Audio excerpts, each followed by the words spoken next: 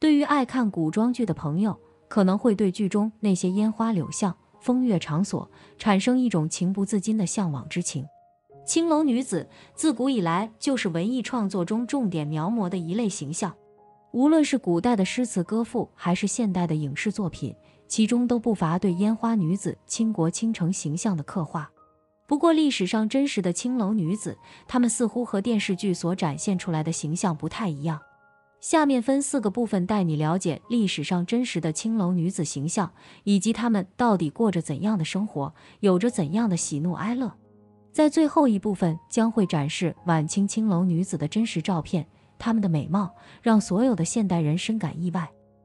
第一部分，青楼女子并非都是以色侍人，在我们的刻板印象里，青楼女子都是以色服侍客人的。她们的容貌就算够不上倾国倾城的程度，但也至少需要水灵通透吧。可是事实并非如此。首先，青楼女子的容貌未必绝佳。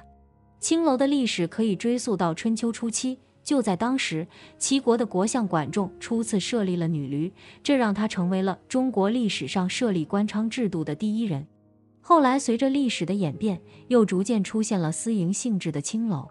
到了明清时期，尤其是有清一代，私营妓院的规模可以称得上是达到了历史的巅峰。可是，无论是官妓也好，私妓也罢，青楼女子的来源无非是贫穷被卖。罪臣女眷等几种途径，而且无论是哪种来源，都无法保证女子的容貌一定是绝色。所以在青楼女子之中，虽然也存在有绝色佳人，但是其余大多数不过只是姿色平庸之辈。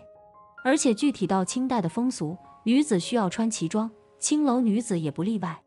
肥大的旗装将女子的身形全部遮住，哪里还分得清谁是风姿绰约，谁又是腰粗腿肥呢？其次，青楼女子也并非全部以色待客。古代长期以来娼优不分，优及幽灵，所以音律曲艺同样也是青楼女子揽客的重要手段。晚清乃至近代时期，青楼一共被划分为四个等级。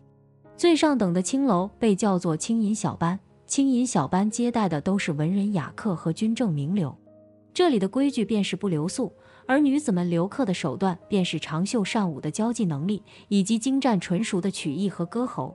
许多军政要人往往会将青银小班当做一个商议密室和联络关系的场所。而且这些名流不仅钱多，而且好面子，往往都是一掷千金。青银小班的女子依靠他们听取给的赏钱，就完全可以过得十分的富裕。第二部分，青楼女子并非全然放浪轻浮。放浪轻浮是影视剧对青楼女子的又一大误解。其实，在真实的历史中，青楼女子并不是全然不顾羞耻，能够做出种种不堪之态的。从古代青楼女子的生长环境来看，青楼中一些老鸨为了培养名妓的娇矜和贵气，会从小就挑选好苗子出来进行精心培养。被当作名妓精心培养的女子，衣食用度与大户人家的小姐别无二致，同样有丫鬟伺候。在这种环境中长大的女子，纵然是卖笑逢迎，又怎么会放下身段去做各种放浪轻浮的姿态呢？除此之外，唐宋时期的文人墨客成为了青楼的主要顾客。这些风流才子浪迹烟花，他们不肯仅仅贪欢买笑，更像是在寻求红颜知己。所以，为了迎合他们，唐宋及以后的烟花女子多通文墨。清代同样是这样，这些受过文墨熏陶的女子，又怎么可能全然不顾礼法而举止轻浮呢？更何况宋明两朝以来，封建礼教日趋严苛，即便是身处烟花巷之中的风月女子，也不能突破封建礼教的底线。而且在家国大义面前，甚至还存在一部分青楼女子，她们所表现出来的气节，比所谓的簪缨贵族、朝廷大臣则显得更加可贵。就比如说。民国艺妓小凤仙，当时的爱国将领蔡锷被袁世凯软禁，他甘愿冒着巨大的危险，帮助蔡锷逃出了北京城。这等见识，这等胆魄，着实比许多嘴上自诩社会名流的上层人物不知道高到哪里去了。第三部分，影视剧误写青楼女子的原因。影视剧中刻画的青楼女子和历史中的青楼女子，为何会存在这么大的差距呢？原因无非是以下两条。原因之一，古装电视剧缺乏足够考证。我们现在看见的古装电视剧越来越精良，在历史背景和细节上的考证功夫做得十分细致。但是我们不得不承认，在曾经的很长一段时间里，古装电视剧缺乏足够的历史考证，哪怕一些情节很优秀的影视作品，在历史背景方面也是错漏百出。正因如此，这些错漏给我们带来了很多错误的历史认知，而青楼女子便是其中之一。原因之二。深受民间刻板印象的影响，因为在许多人的传统认知里，青楼女子就是朱唇任客长的轻浮形象，所以影视剧在创作的时候就沿袭了这种刻板印象，而在影视剧播出之后，又使得这种刻板印象被大大加强。人们的传统认知以及古装影视剧忽视了青楼女子的千人千面。哪怕是同为青楼女子，在不同的朝代、不同的背景之下，她们的面目和性情也有不尽然相同的地方。第四部分：晚清青楼女子真实照片十张。第一张，裹着小脚的青楼女子，这是一组反映晚清时期青楼女子真实相貌的老照片。青楼原指高大豪华、精致漂亮的楼房，以及是豪门大户的别称。由于富贵人家的姬妾与家妓大多住在青楼里，这里也就成了风流才子、达官显要的聚集场所。到了后来，青楼和妓院逐渐画上了等号。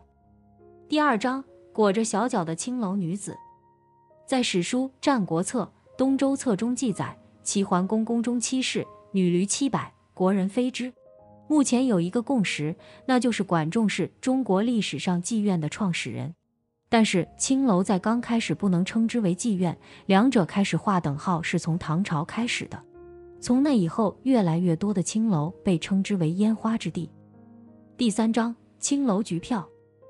局票是晚清时期召唤青楼女子的票据，也就是一种凭证，需要花钱去购买。等级越高的青楼，局票数量则越少，同时往往只提供给达官显贵。清末民初的名妓赛金花和小凤仙就是一等青银小班里的姑娘。如果要让这两人外出作陪的话，就需要最高等级的局票。第四章，青楼女子王克勤。张勋是清朝末年大臣，民国初年军阀，而王克勤则是张勋的十位小妾之一。她曾经是一名青楼女子，也是张勋最宠爱的小妾。当时的报纸这样报道张勋迷上王克勤的过程。在张勋举办寿宴的时候，王克勤正值青春年华，肤白貌美，身材窈窕，气质灵动。这样一个美人坯子，再穿上华美的戏服，又配以婉转的唱腔，这直接就把张勋给征服了。于是堂会结束以后，其他人都安然返乡了，只有王克勤被小轿抬到了张勋的府上。第五章：八国联军军官和青楼女子。古代青楼女子也是分为三六九等的。就比如说，在宋朝时期，就根据文化水平将青楼女子进行等级划分，精通琴棋书画的则被划分在上层。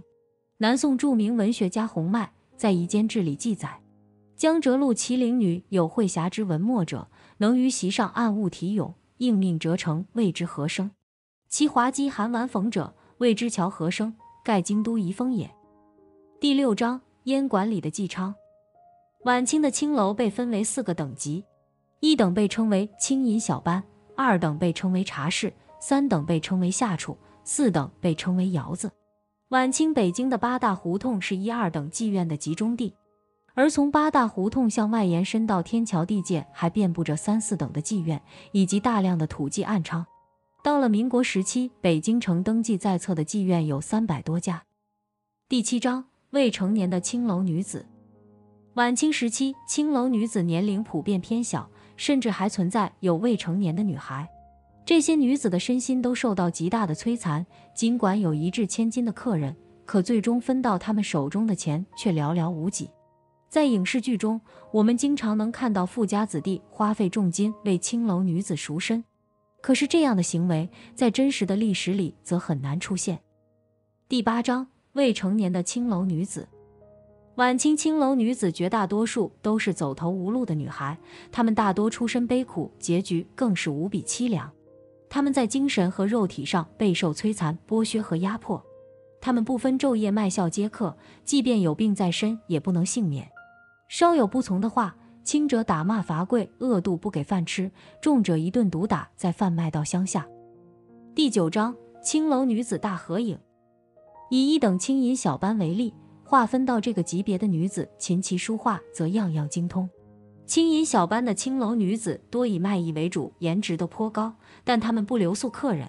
在事实上，很多的青楼女子要比皇帝的妃嫔都要漂亮上很多。第十章青楼女子赛金花。在晚清的青楼女子中，赛金花的名字广为流传。她是老北京八大胡同中陕西巷怡香院的名妓，同时也是一等青楼青银小班的最高出身。